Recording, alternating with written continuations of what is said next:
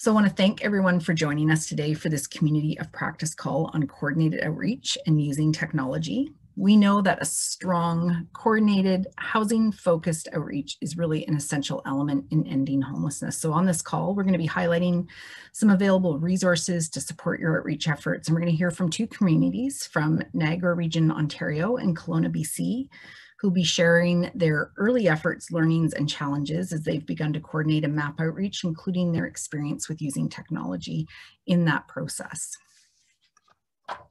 My name is Marie Morrison, and I'm joined today by Lisa Bell as your host for today. We are the improvement advisors for Kelowna and Niagara region and are excited about the work these two communities have been doing in coordinating outreach and thought that others would also like to learn and hear about their journey to date. So a super big thank you to our panelists uh, Malcolm and Carla and Mackenzie for taking the time to prepare your presentations and for being really vulnerable in sort of the ups and downs and the learnings that you've had along the way. Um, I'm sure that folks on the call today are really going to appreciate and have a lot to learn from your successes as well as any fail forward moments. Also on the call with us today is Iain De Jong of OrgCode. I invited him, given his experience and expertise in outreach, to join in the conversation at the end of the call and just listen in. And he's really expressed that his interest in joining is to learn along with everyone else. And so thanks for joining us today, Iain. Lisa and I uh, work with the Canadian Alliance to End Homelessness that leads a national movement of individuals, organizations, and communities working together to end homelessness in Canada and uh, both Niagara Region and Kelowna are part of the Built for Zero Canada movement. Our session today is part of a series of CAEH monthly webinars and community practice calls that have been taking place since the fall of 2019 to support communities' efforts to implement by name lists and coordinated access. You can find all the webinars and community practice calls, both those coming up and the previous ones that we've had on the CAEH training and technical assistance website. These webinars and community practice calls are being funded in part by the Government of Canada through Reaching Home. And today's webinar is being recorded and will be sent over the next day or so to everyone who registered and will also shortly be included on the TTA website previously mentioned. Everyone on the call today is muted, but we really encourage you to use the chat to communicate and uh, to put your questions into the question function. Today, we're really hoping to share key resources and learnings and insights from communities so that you can leave with some ideas that you can action back in your community and really know where you can find additional information and resources.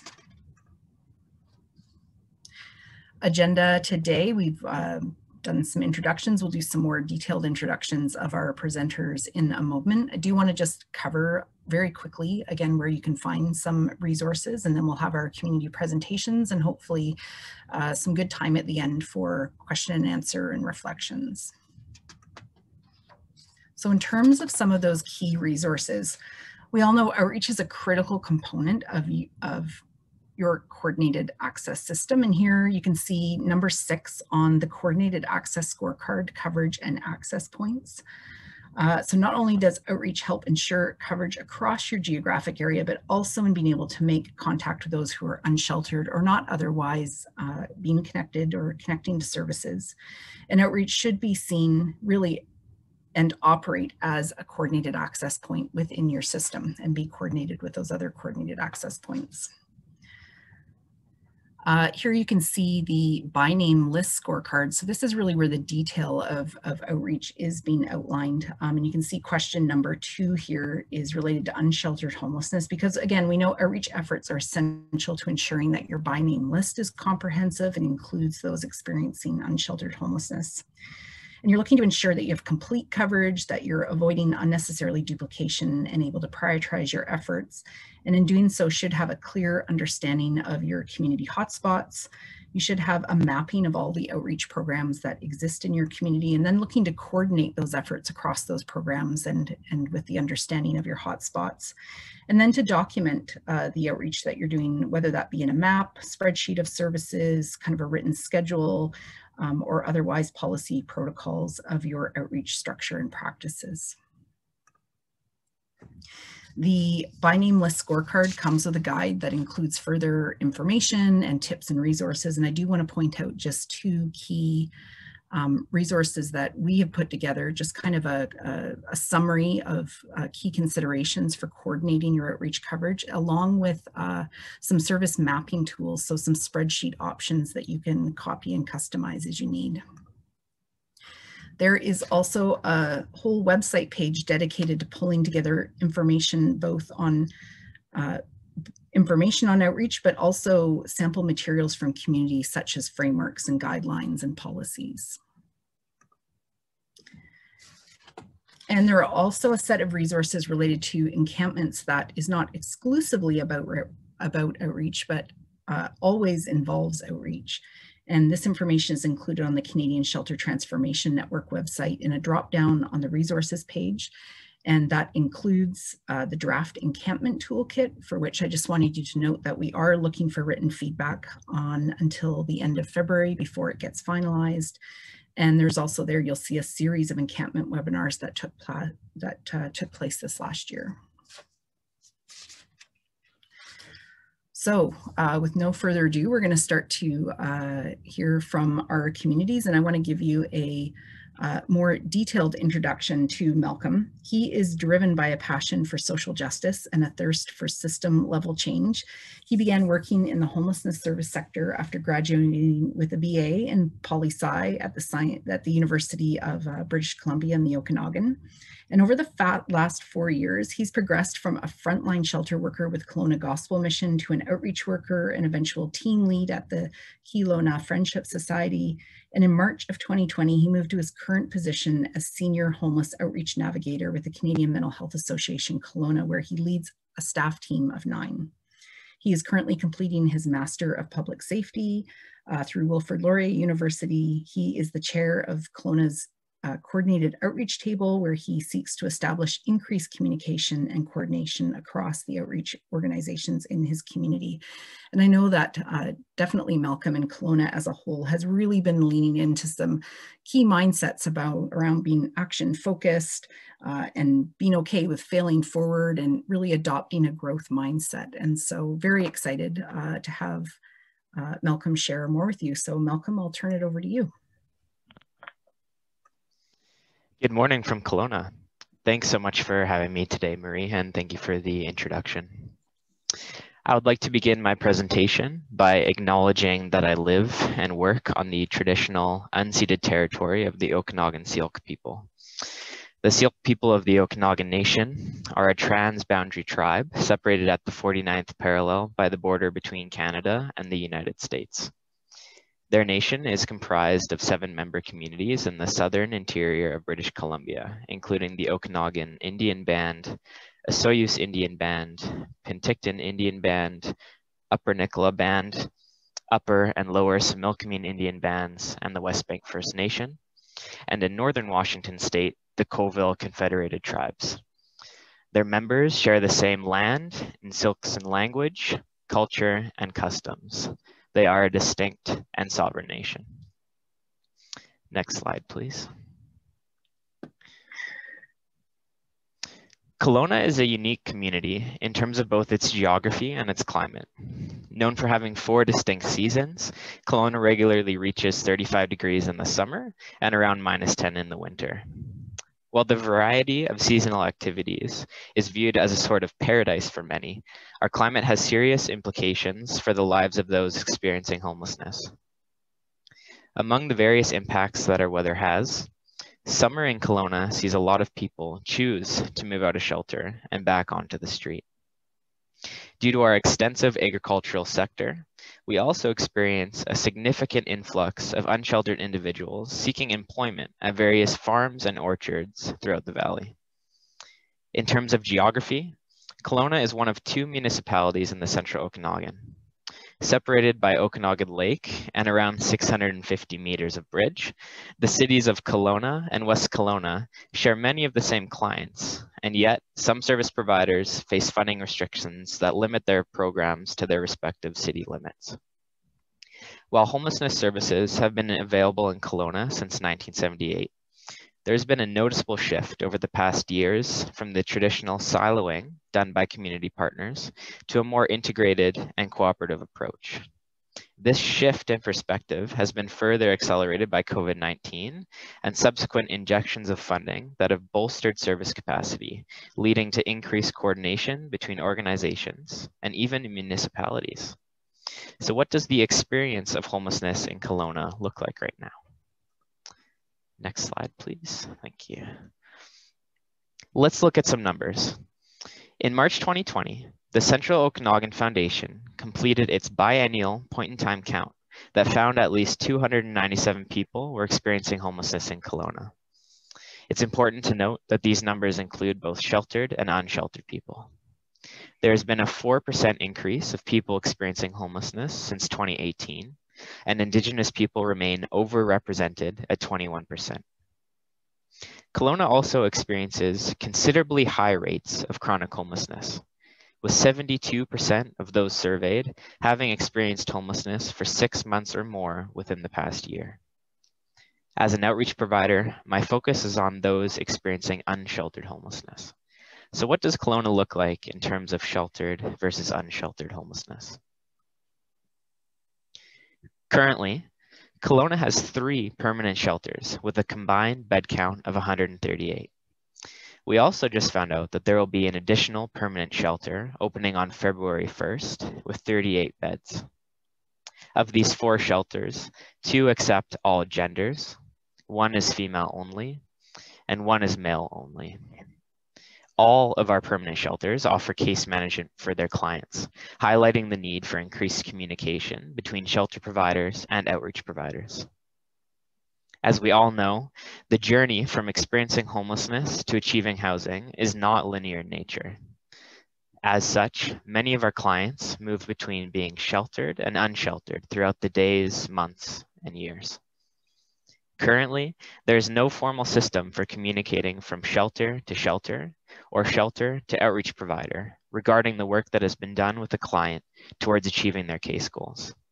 In my opinion, this is an important opportunity for collaboration to help prevent overlap and promote efficiency in our sector. In addition to our permanent shelters, cold weather shelters are opened every winter. This year, we had two shelters open with a combined total of 89 beds. As expected, during the periods that these shelters are open, there is a significant reduction in the number of people experiencing unsheltered homelessness. For many, it is a welcome reprieve from the harsh reality of the outdoors. Unfortunately, come springtime, these shelters close down, resulting in a plethora of difficulties and negative consequences for the people finding themselves, once again, displaced. Next slide, please. In fall 2019, the City of Kelowna recognized their legal obligation to provide an outdoor space for people to legally camp in the absence of adequate shelter space. This recognition resulted in the creation of two outdoor sheltering sites, referred to as OS1 and OS2. Due to the fact that OS2 was located in an area next to the lake and with limited shelter from the wind, the site ended up never being utilized. OS1, on the other hand, provided much better shelter from the elements, including a warming tent that individuals could access on an as-needed basis. While OS1 was well accessed, the agreement with the property owners came to an end in the summer of 2020, and the site required relocation. This brings us to OS3. While well-intentioned in its design, this current site missed the mark in several different ways. First, the site was graded with gravel and is extremely uncomfortable to sleep on. Secondly, there are, again, no natural wind barriers on the site. This makes the location quite cold for individuals without tarps or artificial barriers. Thirdly, there is no on-site storage options for when the site closes during the day. This means that anyone accessing the site is required to pack up and take their supplies with them every morning and set them back up every night. As a result of these shortcomings, OS3 is severely underutilized with about three to five people accessing every night, despite room for about 20 to 25 people. Let's take a look at unsheltered homelessness outside of designated sheltering sites. As previously mentioned, unsheltered homelessness in Kelowna is directly impacted by the opening of cold weather shelters during the winter. This graph is a representation of daily counts performed by bylaw between June 2019 and January 2021 of the total number of people sleeping outside in key areas of the community. While this data is a sample of the total unsheltered homeless population, anecdotally, it seems to reflect what we have been seeing on the streets. Due to increased shelter capacity, we are hovering around 15 to 20 unsheltered individuals per night. Data visualization can offer profound insight into the work that we do. Not only does this graph clearly show the impact that cold weather shelters have on outdoor sheltering numbers, you can also see a downward trend in unsheltered homelessness during 2020 compared to the overall upward trend in late 2019. More research is required to begin to understand the causal relationships affecting the data. Is the development of supportive housing a contributing factor for the downward trend? Perhaps CERB and increased MSDPR payments allowed people to secure previously unaffordable housing. I don't claim to know the answers at this point, but I do know that there is much to learn. So what does engagement with unsheltered individuals look like in Kelowna? Outreach in Kelowna is a melting pot of 20 organizations with different funding, priorities, staff capacities, and target areas. Some teams focus on a single service, such as providing harm reduction. Other teams have broader scopes and fulfill more of a case management role in the community. Between these 20 organizations, outreach teams cover all areas of both Kelowna and West Kelowna. Let's take a look at the type of work that each team does. As you can see, outreach work in Kelowna has become fragmented into hyper-focused teams working within a niche to catch-all organizations and everything in between. The consequences of such fragmentation include siloing, reduced efficiency, lack of identity, and a failure to understand where your organization fits within the homelessness services system as a whole. Informal communication between teams has been occurring for quite some time.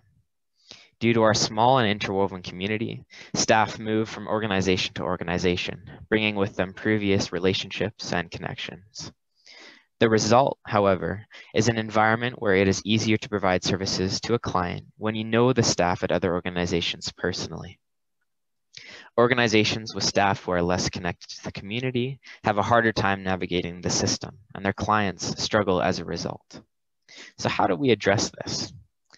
Our goal is to establish formal means of collaboration and a communication between all outreach providers in both Kelowna and West Kelowna. COVID-19 has launched our initiatives into orbit.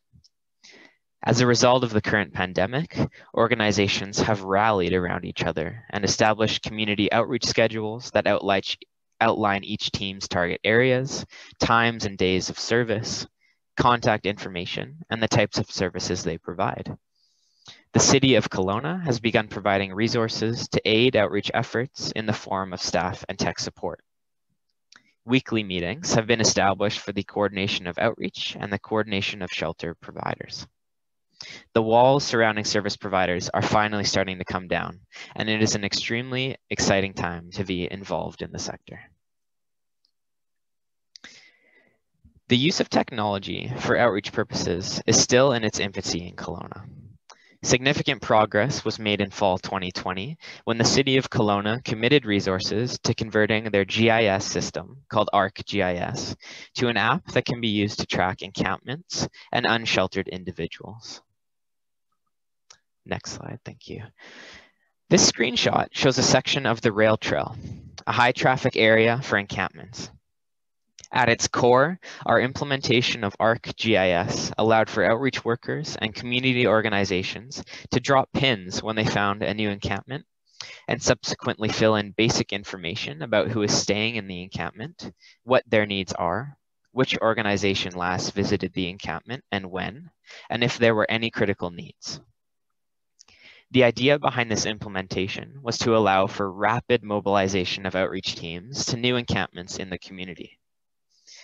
Bylaw was usually the first group to identify new encampments, and we wanted services to know where the encampments were and to record when services were engaged. Beyond this function, we wanted to ensure that there was clarity around which outreach teams were interacting with what camps in order to reduce overlap and service engagement fatigue.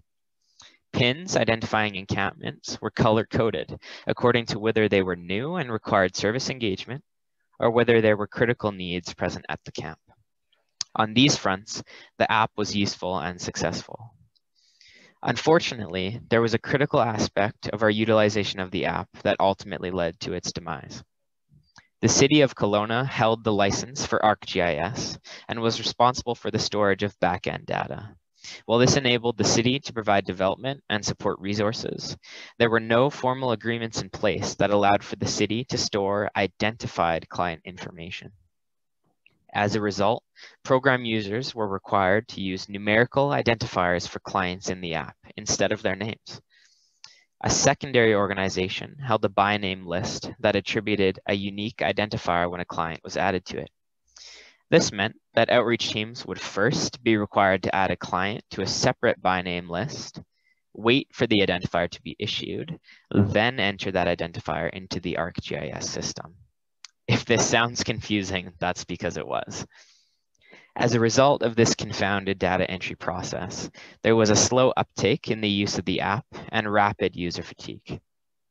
Beyond these user interface issues, minor discrepancies in spelling, different aliases, and data entry errors resulted in multiple identifiers being used for the same individual. Over the course of a few months, usage of the app stopped completely. While this implementation of the app ultimately failed, important lessons were learned and alternatives for outreach coordination were explored and implemented. Enter the coordinated outreach table. After attending the incredibly informative and eye-opening Impactful Street Outreach webinar by Iain De Jong in October 2020, I was inspired to engage with the Central Okanagan Journey Home Society to get as many organizations as possible to attend. The Journey Home Society rallied around this idea and was able to facilitate the attendance of over 40 staff from 24 different organizations. Wanting to keep the momentum going, Saran, Mallinson, and myself organized 11 breakout sessions with the attendees to discuss the evolution of outreach in Kelowna and West Kelowna. The result of these breakout sessions was the creation of a 29 person working group tasked with shaping the future of outreach in our community. This working group included the RCMP, Interior Health, the Lived Experience Circle on Homelessness, and a variety of other outreach stakeholders. Our working group quickly evolved into the Coordinated Outreach Table, a weekly, hour-long meeting where we problem solve and coordinate in a collaborative setting and discuss trends, gaps, and other aspects of outreach. Our table has increased the organizational awareness and understanding of each team and has led to the sharing of resources and knowledge to the benefit of our clients.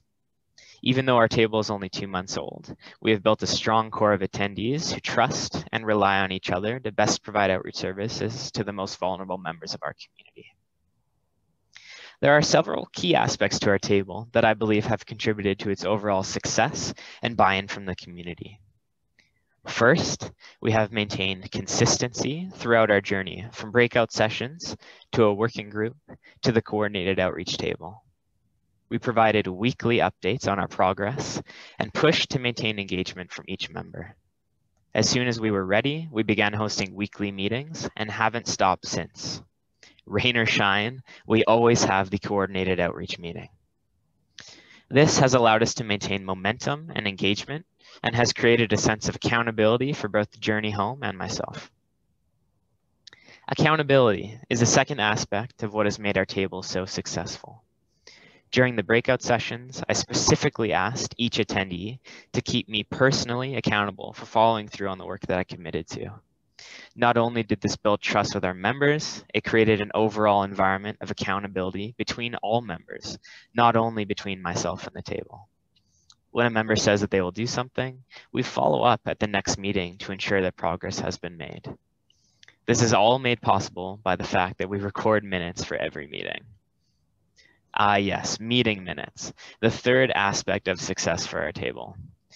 You actually might be surprised to hear that some people love taking notes, and it's a great idea to find those people and force them to take the minutes for you. All joking aside, being able to distribute the minutes for each meeting encourages accountability, allows for the distribution of key updates, and provides a summary of the table's activity over time. An added benefit is that if a member is unable to attend, they can read up on the minutes and feel up to date for the next meeting. The coordinated outreach table continues to move forward with the intention of continually shaping outreach in our community and with the ability to quickly adapt to an ever-changing landscape. Reflecting back on the work that has been done regarding outreach coordination in my community, there are many bright spots to focus on that fit into three broad themes. Our community and the organizations within it have an intense hunger for collaboration. Some groups remain cautiously optimistic around systems level coordination. However, everyone is at the table and at least willing to try. Our hunger for working together has resulted in considerable momentum for community initiatives.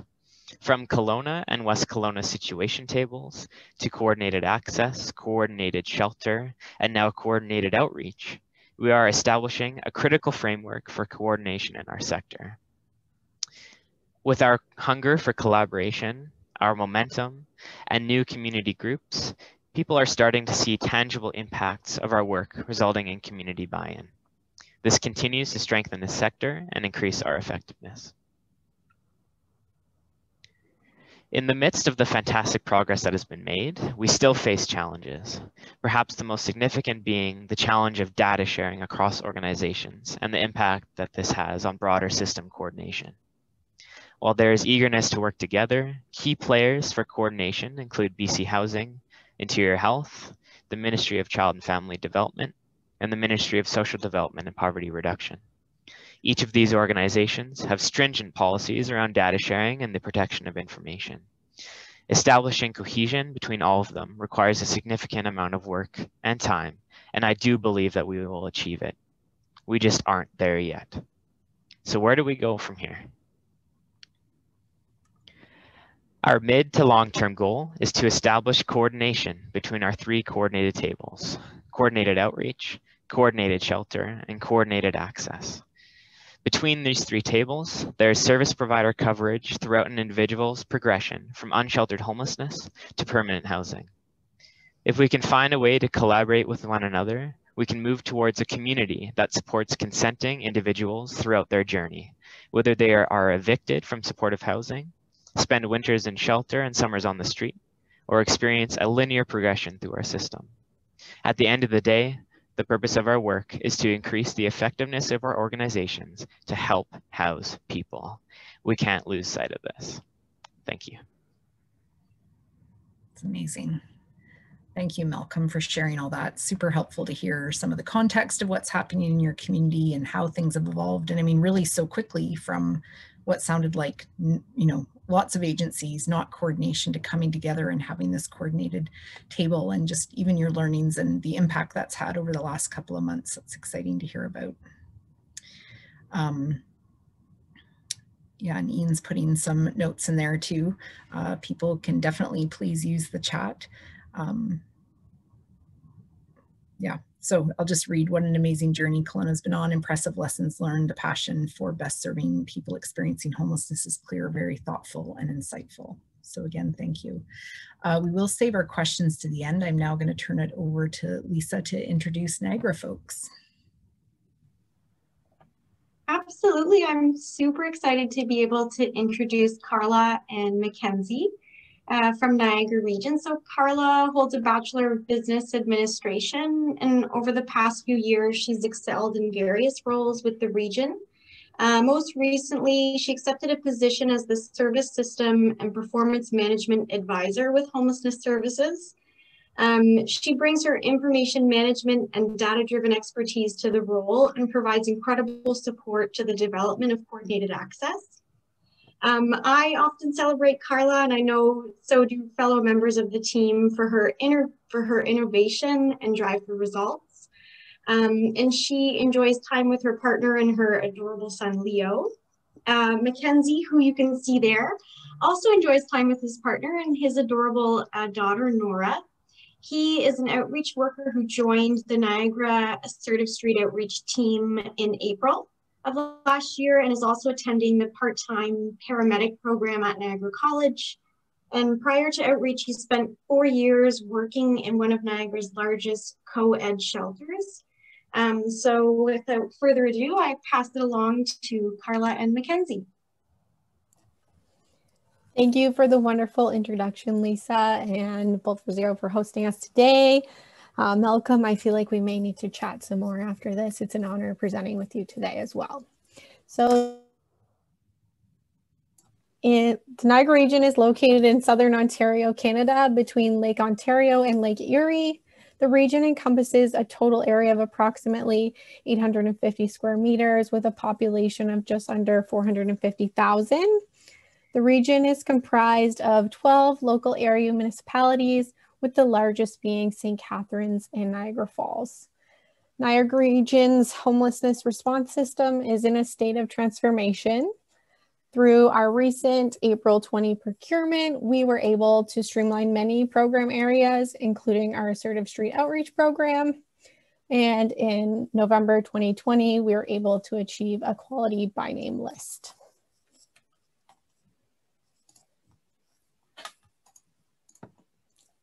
So what does homelessness look like in Niagara region? Shout out to our wonderful Built for Zero data lead, Christina, for helping me with this slide. As of January 14th, 2021, there are over a thousand individuals active on the by name list with 350 individuals or approximately one third experiencing chronic homelessness over the past year and or three years. As you can see, we're early in our Built for Zero and by name list journey but the best part about our quality by name list is the low rate of return to homelessness from housing. The median of 15 for monthly housing move-ins is also encouraging. However, we have a lot of work to do in ending homelessness before chronicity and in reducing the movement to inactivity unnecessarily as movement back to homelessness from activity is high.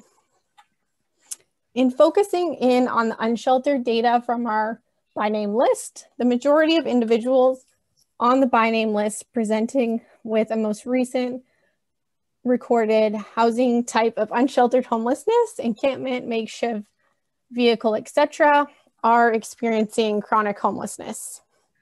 A very interesting finding in our most recent data poll was that more females were experiencing unsheltered homelessness than males at the moment. Next slide. As of April 1st, 2020, four agencies were awarded funding through a negotiated RFP process to deliver assertive street outreach services. The agencies are the lead agency of Gateway Residential and Support Services of Niagara in partnership with Southridge Shelter, the Raft, and Port Cares. Gateway was an assertive street outreach provider prior to April 2020 through regional funding and supports the team with scheduling, resource sharing, partial onboarding, and administration as the lead agency. Through the negotiation process, Niagara Region requested that the successful agencies work together to deliver service for the entire region. This collaborative approach formed the Niagara Assertive Street Outreach Team, also known as NASO. The development of the NASO team is a major step forward in transforming the homeless serving system in Niagara. We have leveraged COVID-19 to move this program along more aggressively, and we are currently working to finalize a memorandum of, of understanding amongst all agencies to formalize this collaborative. The NASO team includes 12 FTEs, plus weekend outreach coverage, including two team leaders. The image on the right is just a picture of their name badge that the NASO workers wear, which they have found to provide them with credibility when establishing new relationships and working in the community. Alongside the incredible housing focused work that the NASO team does every day, the team has been successful in establishing many key partnerships. Starting in April Niagara Falls had a police liaison officer role connected to the team. This officer sends referrals to NASO, the NASO team, participates in coordination and case planning, works closely with the team on a regular basis to form positive relationships with clients served and gain a stronger understanding of community. In May 2020, we launched our hotspot mapping tool as well as a partnership with 211 to facilitate referrals to the NASO team. And I will dive into these technologies next.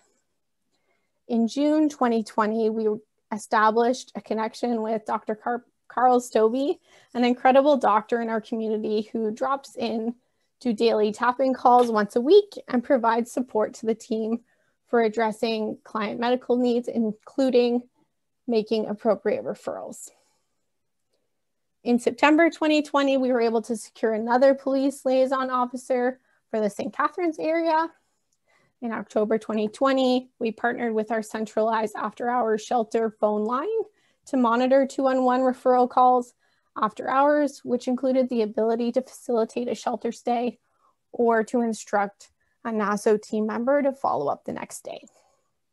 And in January of this year, through the support of Dr. Stobbe, a two-month communi community paramedic partnership was established to understand the needs of individuals experiencing unsheltered homelessness in the community, and the two paramedics are able to provide wound care and assessments in the field quite promptly.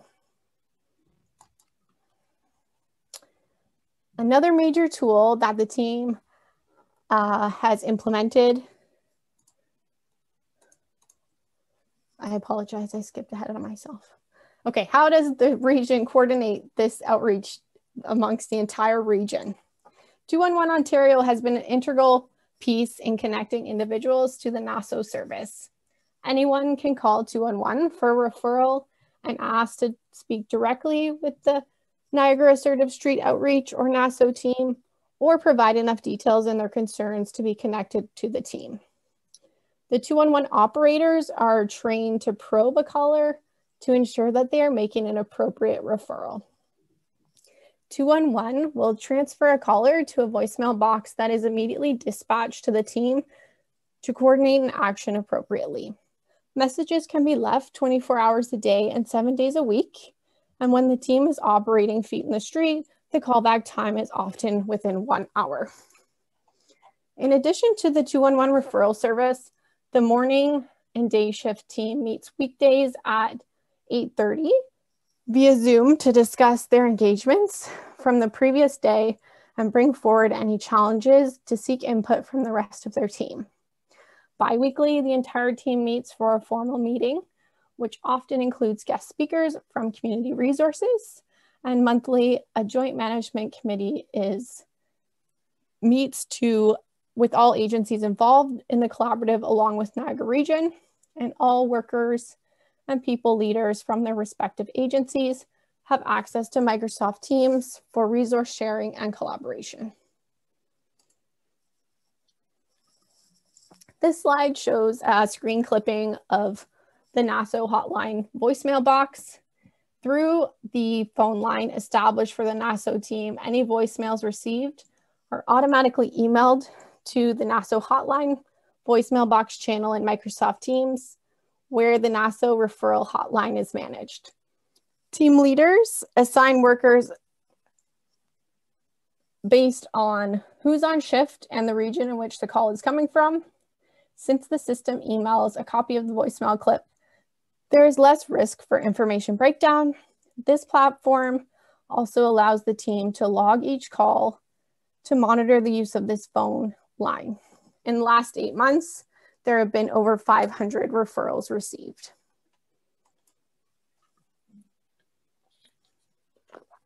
Another major tool that has been implemented with the team is a hotspot mapping system. The homelessness risk reduction solution from ArcGIS is the solution that Niagara Region and NASO modified to suit our initial needs.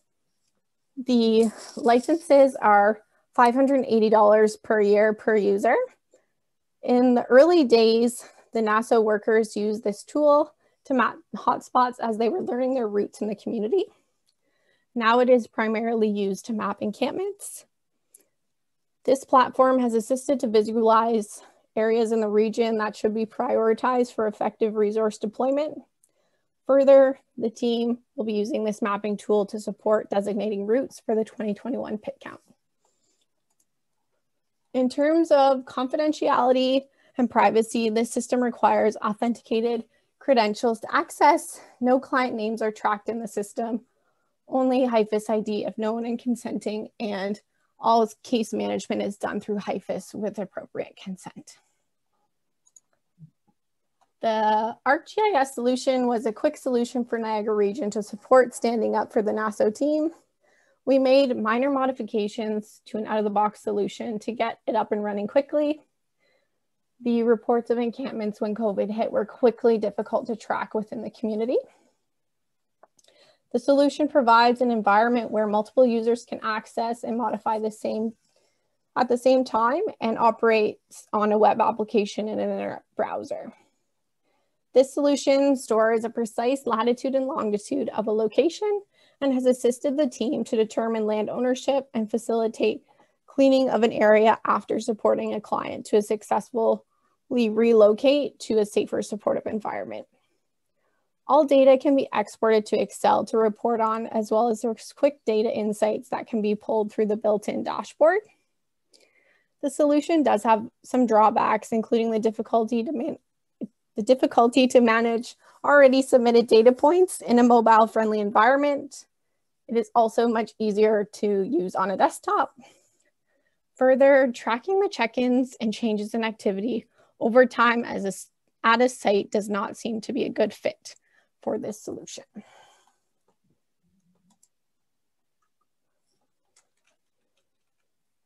Okay, the NASO team has had many bright spots to share. To name a few, the agencies involved in the collaborative that formed in April have been so supportive and engaged in developing a strong region-wide assertive outreach program. This collaborative has provided Niagara Region with the opportunity to strengthen relationships with two of our largest municipalities, St. Catharines and Niagara Falls, through weekly team meetings with NASO program management, Niagara region, and the city to use resources effectively. The team has been able to partner with existing service providers to leverage each other's resources and expertise. For example, harm reduction support services, Ontario Works, Public Health, Niagara Falls Library, Out of the Cold, an ID clinic, and other previously mentioned providers in this presentation. It hasn't been all easy and the team has experienced challenges along the way. The team grew very quickly and required changes in process, including embracing technology options in order to ensure the program would be successful. The Niagara region is also very large and there's 12 different local area municipalities that all operate a little bit differently. In the early days, the team also identified it took some time to get some supply lines set up to have a steady flow of donations to support the work that they do in the community. So what's next for NASO? We have the desire to work on a phase two of our hotspot application to include more capabilities in alignment with the encampment toolkit and best practices. We'd like to see if there's opportunities to tie the hotspot mapping tool with HIFIS, and we'd like to continue to expand partnerships, improve communication platforms and awareness about NASO services. And that's a lot. So the before I wrap up, I want to pass it off to uh, Mackenzie, one of our NASO team members, so you can hear from him, his experience utilizing some of these coordinated technology tools I presented this afternoon. Take it away, Mackenzie. Thank you, Carla. And I thank you so much for giving a snapshot on how our team has developed and, and like you're saying, had to adopt different pieces of technology.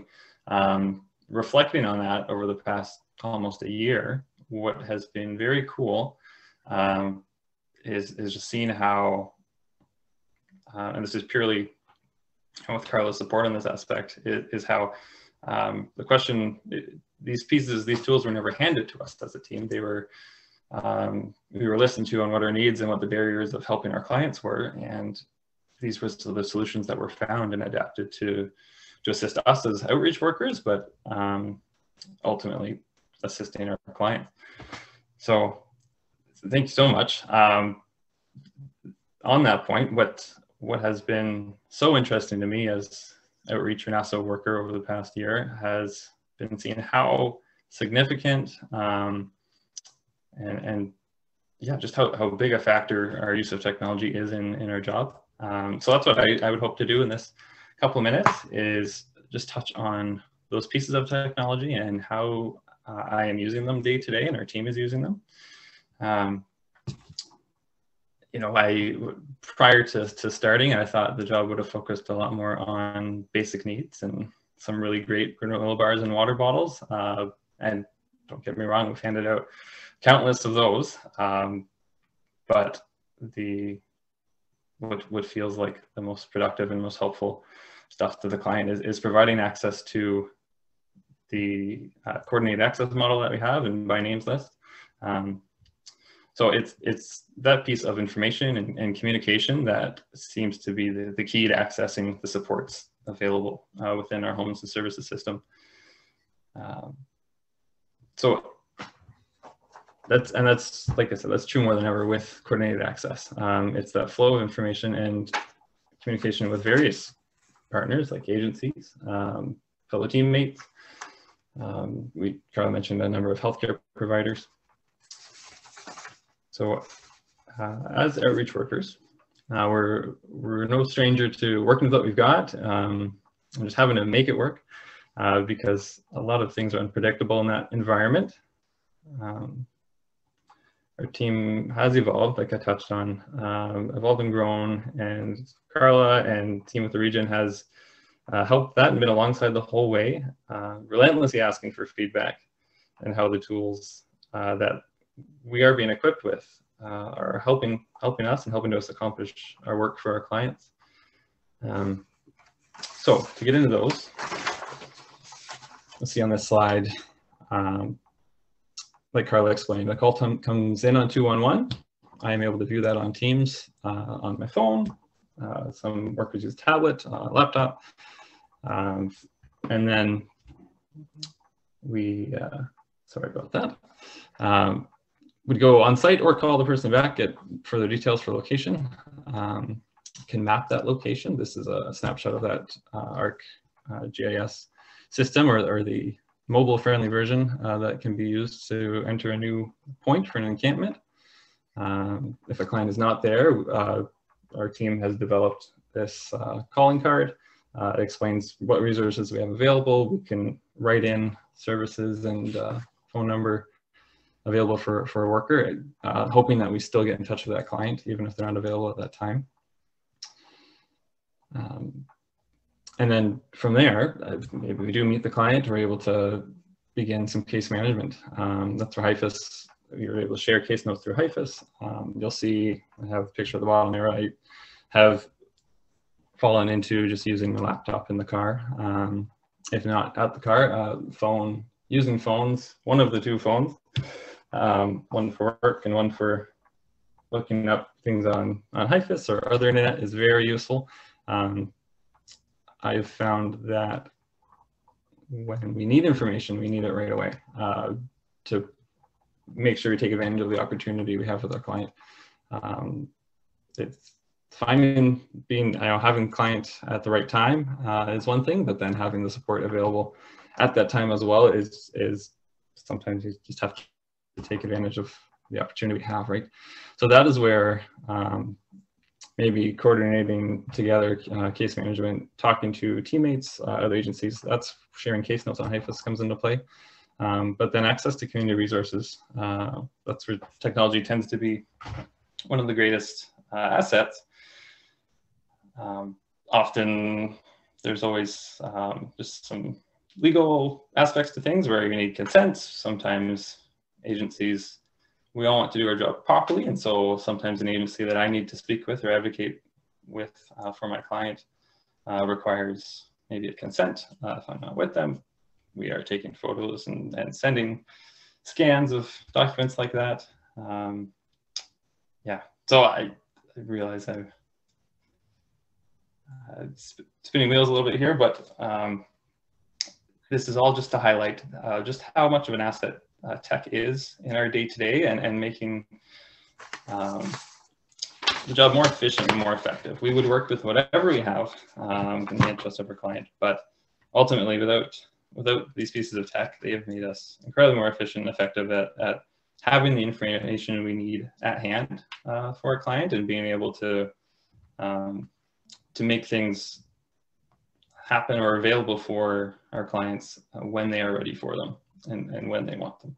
Um, it, in that way, we can try to always hold the door open uh, for them for whenever they're able to or willing, ready to to choose that one or walk through it. So yeah, thank you so much. Thanks for taking the time to, to hear just a snapshot of what we're doing in Niagara. I was very excited to share today.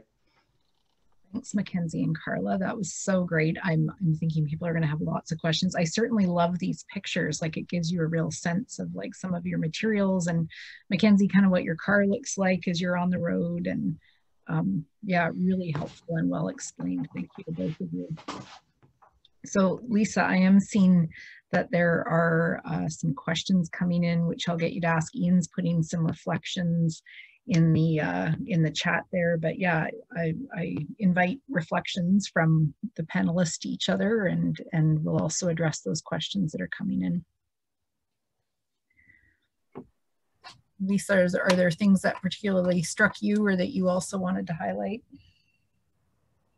Um, yeah, I, I wanted to highlight that uh, both communities seem to be using a GIS tool with different levels of of success, you know, definitely some challenges in being able to use that tool outside of HIFIS. So mainly using HIFIS or another way to log your case management notes. Um, and then kind of hopping onto a different tool to be able to use the uh, GIS function and map where you're finding folks who are sleeping rough. Um, and this connects to a question that we had from uh, Robin. She was wondering if anyone could speak to HIFIS and outreach. Um, they're thinking of joining GIS and HIFIS in a separate database, but wondering if anyone else has a better HIFIS solution um, for kind of tracking and using um, the information of where you're seeing people sleeping rough um, yeah, so I'm not sure if uh, Carla or Mackenzie or Malcolm, if you could speak to that.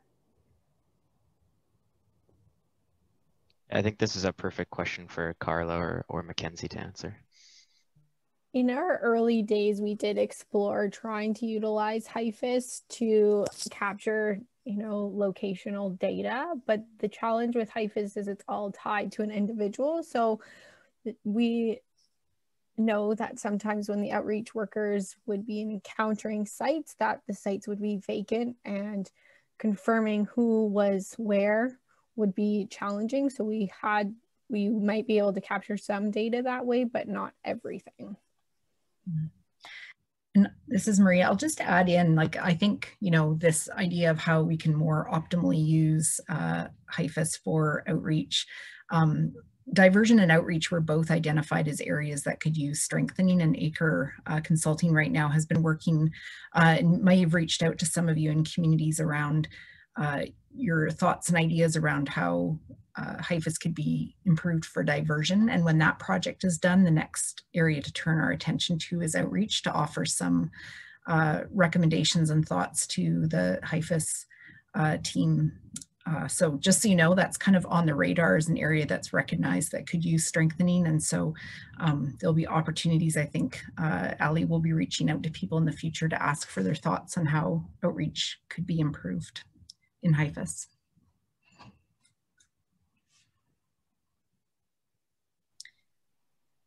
And uh, Lisa, so was there another question there as well? Yeah, so also have a question, um, just asking the panelists of their experiences using the outreach data and their outreach teams to meet the housing needs of people uh, with very high acuity or complex needs who are unsheltered.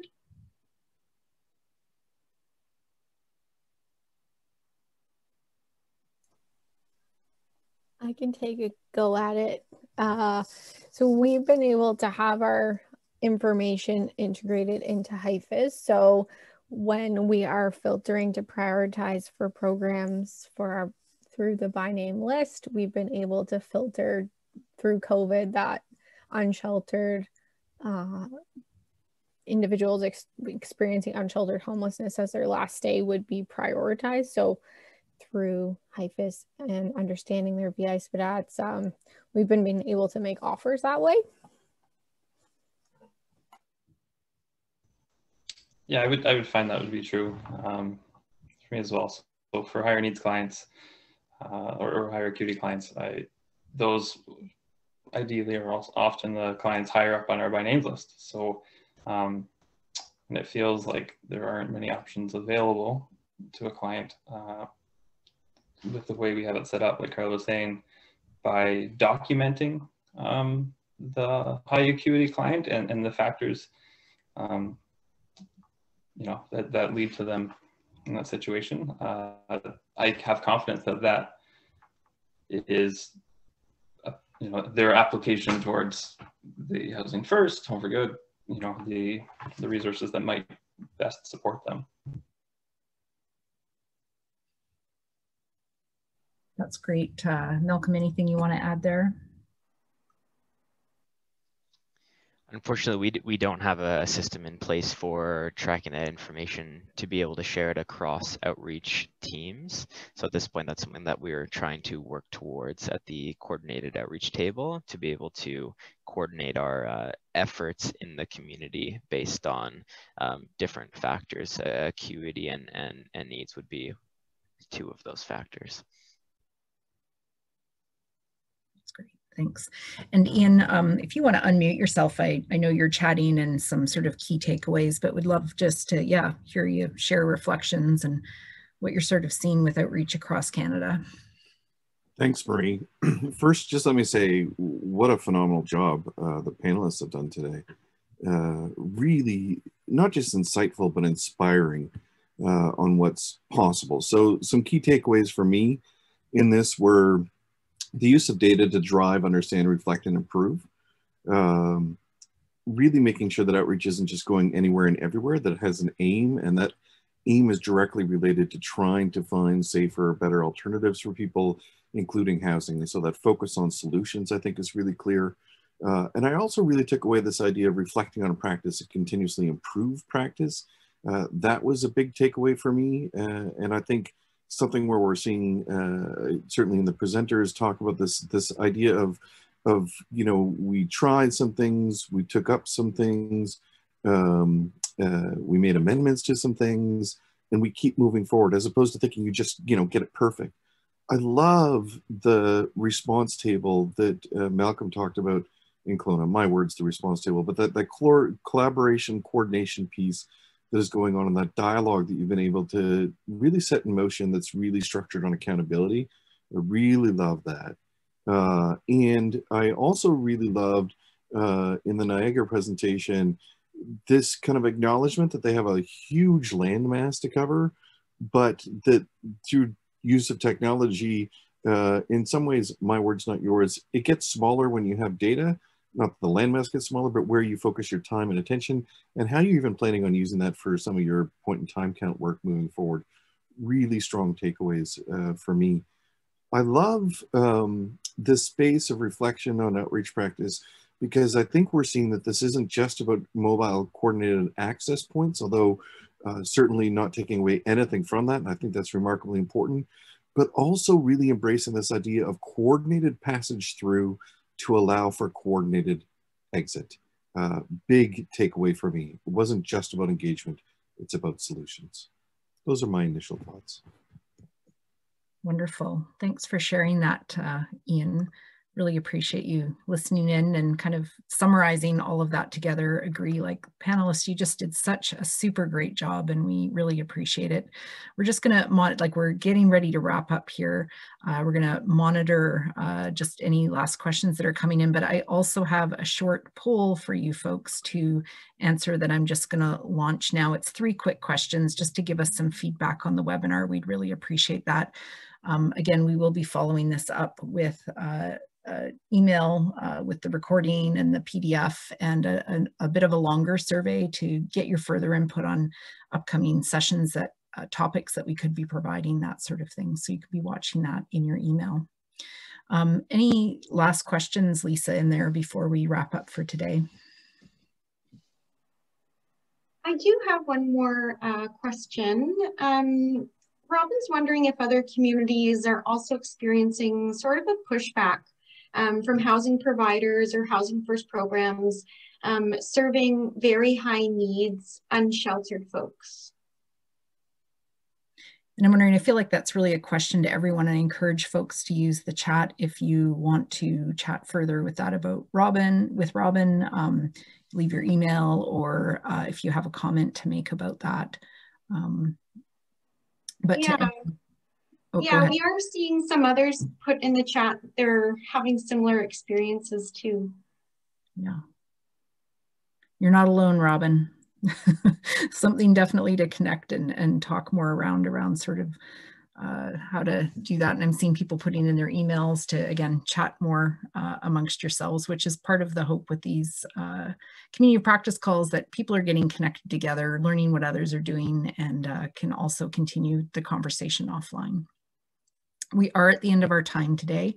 Um, I'm seeing people say, yes, I have so many questions on this topic. Such great presenters. Uh, the presenters' emails are included in the presentation, um, and I'm hoping that's okay, Carla and Malcolm, if folks follow up with you if they have further questions or want to dig a bit deeper into anything you shared today.